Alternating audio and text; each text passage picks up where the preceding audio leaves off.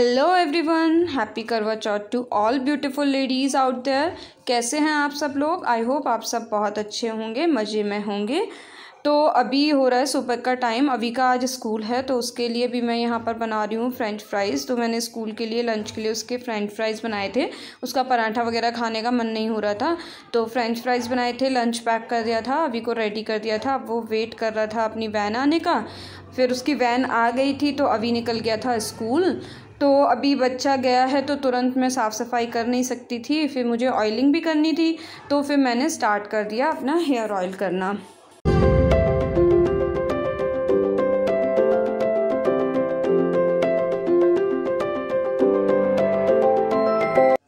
तो ऑयलिंग करने के बाद फिर मैंने ना सबसे पहले मशीन लगा दी थी, क्योंकि आज लॉन्ड्री भी करनी है। तो मशीन का जब तक एक राउंड यहाँ पर कंप्लीट हुआ, तब तक मैंने ना झाड़ू वगैरह लगा ली थी। तो फिर ये अलार्म बज गया था तो फिर मैं आ गई थी यहाँ पर ना फ़र्स्ट राउंड के कपड़े निकालने। तो लॉन्ड्री करना आज इसलिए भी ज़रूरी था, एक तो कपड़े भी हो रखे थे बहुत सारे, और दूसरा ये था कि अब आज अगर लॉन्ड्री हो जाएगी तो कल मैं फ्री हो जाऊँगी लॉन्ड्री की तरफ़ से, जिससे कि मैं अपना दिवाली की जो साफ़ सफ़ाई का काम है, वो कर लूँगी, क्योंकि टाइम अब बहुत शॉर्ट बचा और काम मुझे बहुत सारा दिख रहा था। तो मैंने सोचा कि आज ही मैं ये लॉन्ड्री का काम निपटा देती हूँ। इसके बाद फिर ना झाड़ू तो मेरी लगी चुकी थी तो उसके बाद फटाफट से मैंने मॉप लेके ना पूरे घर में पोछा लगा लिया था। पोछा लगाने के बाद फिर मैं जाऊँगी नहाने के लिए। तो पोछा लगाने के बाद फिर ना मेरा मन था कि मैं थोड़ा बहुत फेस क्लीन अप कर लूँ, लेकिन मैं रात को भी नहीं कर पाई थी। तो मैंने सोचा कि क्लीन अप पूरा नहीं हो पा रहा है तो मैं ऐसा करती हूँ कि फ़ेस पैक ही लगा लेती हूँ। तो एक तो अच्छी बात यह है कि ये जो फेस पैक है, ये घर के सामान से ही बनना था तो फिर घर पर मैंने बना लिया था ईजीली और दूसरा अच्छी बात यह है कि ये फेस पैक और स्क्रब दोनों का काम कर देता है। यानी कि अगर हम खाली फेस पैक को भी लगा लेते हैं ना तो कंप्लीट क्लीनअप जैसा जो इफ़ेक्ट है ना, वो दिखता है। तो इसके लिए बस मैंने यहाँ पर लिया है एक चम्मच बेसन और उसमें डाला है दही। अकॉर्डिंग मतलब कि वो एक थिक पेस्ट जैसा बन जाए और फिर उसमें थोड़ी सी चुटकी भर डाली है हल्दी और थोड़ा सा डाला है मैंने हनी हनी क्या होता है ना स्किन को मॉइस्चराइज करता है और जो जो दही है, वो स्किन को क्लीन करता है। तो बस नहाने से पहले मैंने इसको फेस पे अप्लाई कर लिया था और उसके बाद जब मैं बाथरूम में गई तो मैंने नहाते टाइम ही ना इसको जो, जब ये सूख गया था तो हल्का सा हाथ गीला करके और इसको थोड़ी सी देर, लगभग पाँच मिनट के करीब मैंने स्क्रब कर लिया। तो यहाँ पर क्या स्किन एकदम साफ़ सी, बहुत अच्छी सॉफ्ट सी हो गई थी। मुझे तो बहुत अच्छा लग रहा था, मैं मतलब खुश थी इसके इफ़ेक्ट से। तो ये ऐसा फेस पैक है कि अगर आपको मतलब इंस्टेंट कुछ अपनी स्किन के लिए करना है तो इसको आप कर सकते हो। तो ये स्क्रब पैक दोनों का काम कर जाता है। तो बस नहा के आई थी, नहा के आने के बाद मैंने ये वाला गाउन डाल लिया। दिया था। ये गाउन जो है ना, ये मेरी मदर इन लॉ ने मुझे फ़र्स्ट करवा चौथ पे दिलाया था। तो ये मुझे मतलब बहुत अच्छा भी लगता है और दूसरा मतलब करवा चौथ की आदत से जुड़ी हुई है। तो मैं अक्सर करवा चौथ पे दिन के टाइम ना इसी को पहन लेती हूँ। तो इवन आठ साल हो गए मेरी शादी को तो मैंने कम से कम चार बार इस गाउन को पहना है। तो बस मैंने अपना ये गाउन पहन लिया था और उसके बाद अपनी ही स्किन केयर कर ली थी। स्किन केयर में वही टोनर मॉइस्चराइज़र लगा लिया और उसके बाद बस मैंने अपनी बिंदी लगा ली है। थोड़ी सी हल्की सी लिपस्टिक लगा ली है, सिंदूर लगा लिया है और यहाँ मैं दिन के लिए हो गई रेडी और जी देखिए, ये मेरे गाउन का जो है कंप्लीट लुक है तो ये मल्टी कलर गाउन है मुझे बहुत ही ज़्यादा अच्छा लगता है। मतलब सारे कलर जो है ना, एकदम वाइब्रेंट से हैं। तो उसके बाद फिर अभी को भूख लग गई थी और हस्बैंड के लिए भी लंच बनाना था तो मैंने फटाफट से लंच बना दिया। लंच में मैंने खाली दाल चावल बनाए थे। काली वाली जो मशहूर की दाल होती है, वो बनाई थी और चावल बना दिए थे। अभी को लंच करा दिया था। और उसके बाद फिर मैं आ गई थी यहाँ पर अपना नेल पेंट लगाया, पैरों में लगाया फिर हाथों में लगाया और इसके बाद फिर मैं यहाँ पर लगा रही हूँ महावर। तो कोई भी इस तरीके का त्यौहार होता है ना, सुहाग वैसे तो हर त्यौहार पे लगाते हैं, लेकिन ख़ास तौर से जो ये कुछ सुहाग से रिलेटेड जो होते हैं ना, जैसे करवा चौथ है और तीज है बड़ा मावस है, इस तरीके के तो ये ना जो महावर है, ये आलता लगाना ज़रूरी होता है। तो बस मैं यहाँ पर आलता यहाँ लगा रही हूँ। और आलता मैंने लगा लिया था और उसके बाद फिर मैंने अपने थोड़े से गहने निकाल के पहन लिए थे, रिंग निकाल ली थी, यहाँ पर मैंने पायल निकाल ली थी। तो पायल क्या है ना, अभी मैंने डेली बेसिस में नहीं पहन रखी थी, निकाल दी थी, क्योंकि ये थोड़ी सी बड़ी हो रही थी। तो फिर मैंने आज निकाल के इनको पहन लिया तो अपनी पायल वगैरह पहन ली थी। और इसके बाद ये अभी यहाँ पर बैठा था, ये लॉलीपॉप लेके आया था, उसने कहा कि मुझे खोल के दे दो तो मैंने उसको खोल के दे दिया। फिर उसके बाद आ गई थी मैं किचन में खाना बनाने के लिए शाम को जो भोग बनेगा उसकी तैयारी के लिए। तो हमारे यहाँ जो बनती है ना वो मेनली बनती है आ, मीठी पूड़ी और सादी पूड़ी। मतलब जो बायना निकलता है ना वो इन्हीं का निकलता है। बाकी सब्ज़ी वगैरह जो भी है वो आप एक्स्ट्रा कुछ भी बना सकते हो। तो सबसे पहले यहाँ पर मैं ना मीठी पूड़ी के लिए आटा जो है वो तैयार करके रख रही हूँ। तो मीठी पूड़ी के लिए यही रेशियो है कि जितनी पूड़ी लगभग आपको बनानी है उतना चम्मच जो चीनी है वो गुनगुने से पानी में मैंने घोल के रख ली, घोल के तैयार कर ली और फिर उसके बाद जो आटा है, आटा लेके उसमें थोड़ा सा ऑयल डाल के मतलब उसको थोड़ा सॉफ्ट सा कर लेंगे और उसके बाद उसको ना थोड़ा सॉफ्ट सॉफ्ट सा मैंने लगा लिया था। मतलब एकदम पूड़ी की तरह नहीं लगाना है उसे। क्योंकि पूड़ी का डो जो होता है ना, वो थोड़ा सा टाइट होता है, लेकिन इसके लिए ना थोड़ा सॉफ्ट डो होना चाहिए अदरवाइज़ ना पूड़ी बहुत ज़्यादा मीठी वाली जो है ना, वो टाइट हो जाती है। तो मीठी पूड़ी का मैंने आटा लगा के तैयार कर दिया था, सादी वाली पूड़ी का आटा भी लगा के तैयार कर दिया था। अब मैं पूड़ियाँ सीखूँगी लास्ट में सब्ज़ी, रायता वगैरह सब बनाने के बाद तो तब तक जो आटा है ना, वो थोड़ा सा तैयार हो जाएगा।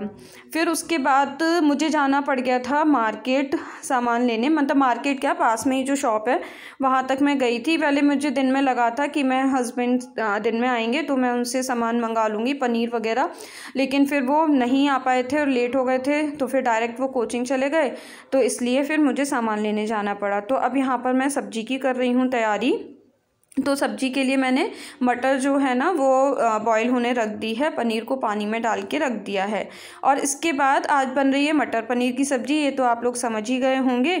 तो उसमें मैंने क्या करा है कि दो जो टमाटर हैं, वो लिए हैं। चार हरी मिर्च ली हैं। और टमाटर को ना थोड़ा सा बड़े बड़े पीसेस में मैंने काट लिया है। और इसके बाद कढ़ाई में ऑयल डाल के और जितने भी खड़े मसाले होते हैं, दालचीनी, जीरा और काली वाली इलायची छोटी हरी वाली इलायची ये सारे डाल के दो लौंग ये सब डाल के और उसमें टमाटर को ना थोड़ा थोड़ा सॉटे कर लिया। मतलब टमाटर और हरी मिर्च को थोड़ा थोड़ा भून लिया। मतलब डायरेक्ट पेस्ट नहीं बनाया है थोड़ा सा उसको भूनने के बाद फिर वो जब वो मटेरियल ठंडा हो गया थोड़ा उसके बाद उसका पेस्ट बनाया। तो इस तरीके से जब हम ना टमाटर वगैरह को भून के बना भून के पेस्ट बन, बना के जब सब्ज़ी बनाते हैं ना तो बहुत ही ज़्यादा अच्छी टेस्टी सब्ज़ी बनती है। तो यहाँ पर मैंने उसको भून लिया था, फिर वो ठंडा हो गया। तो ठंडा होने के बाद पीस के अब मैंने फिर से कढ़ाई में ऑयल चढ़ाया है और इसमें फिर वो पेस्ट डाल दिया। वो पेस्ट को हमने अच्छे से भून लिया है जब तक वो ऑयल सेपरेट ना कर दे। उसके बाद इसमें डाल देंगे अपने बेसिक मसाले, हल्दी लाल मिर्च, धनिया पाउडर, ये सब मसाले इसमें डाल दिए हैं।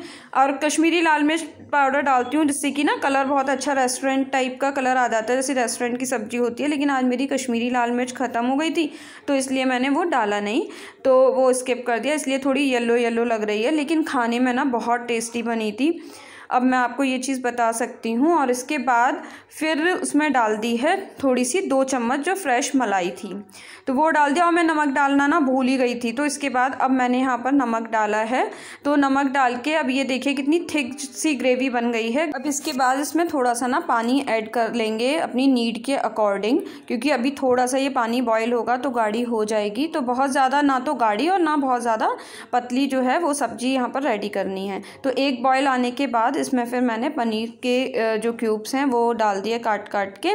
और थोड़ी सी देर मुश्किल से मतलब एक दो मिनट इसको फिर पकाएँगे, क्योंकि पनीर सॉफ्ट होता है ना तो अगर ज़्यादा देर पका देंगे तो फिर वो ना एकदम मिक्स जैसा हो जाता है उसमें।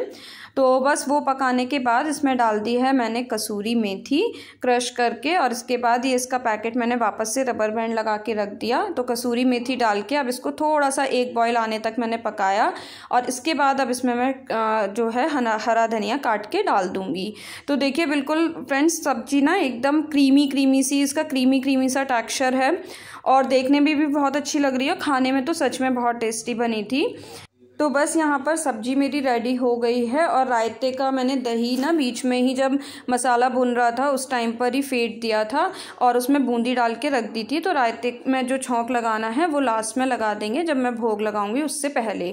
तभी छोंक लगा के उसमें नमक वगैरह डालूँगी अदरवाइज़ ना फिर वो खट्टा हो जाता है।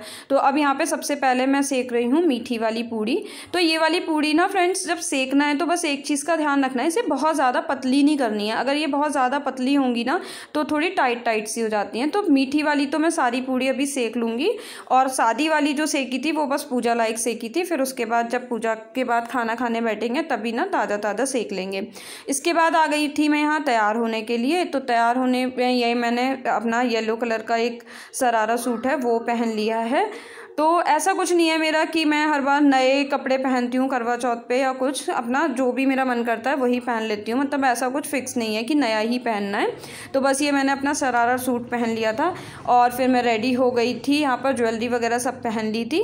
लेकिन बस जो प्रॉब्लम हो रही थी वो हो रही थी मुझे जो दुपट्टा लगाने में। तो पहले मैं सोच रही थी कि कुछ ऐसा कर लूँ कि दुपट्टा मेरा जो है ना वो सर पे टक हो जाए। क्योंकि बार बार पूजा के टाइम जब दुपट्टा उठाते हैं ना तो मेरे हर बार बाल बिगड़ जाते हैं। क्योंकि बाल मेरे थोड़ा सिल्की हैं तो वो रुकता ही नहीं है दुपट्टा उस पर तो मैंने कोशिश करी थी टक करने की, लेकिन कुछ नहीं हुआ, उससे टाइम भी बहुत ज़्यादा वेस्ट हो गया।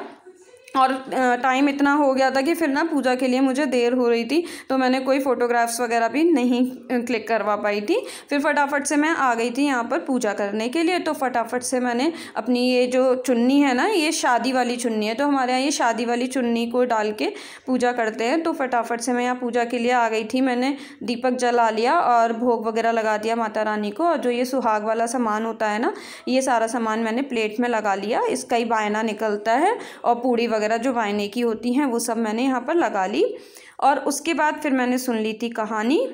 तो जब तक मैं कथा वगैरह करके फ्री हुई ना, तब तक चाँद भी निकल आया था, लेकिन हमारी छत से चाँद ना दिखाई नहीं दे रहा था तो फिर मैं पड़ोस वाली जो भाभी हैं, उनकी छत से जाके मैंने चाँद को अर्घ दिया तो इसलिए वो वाला पोर्शन ना शूट नहीं हुआ।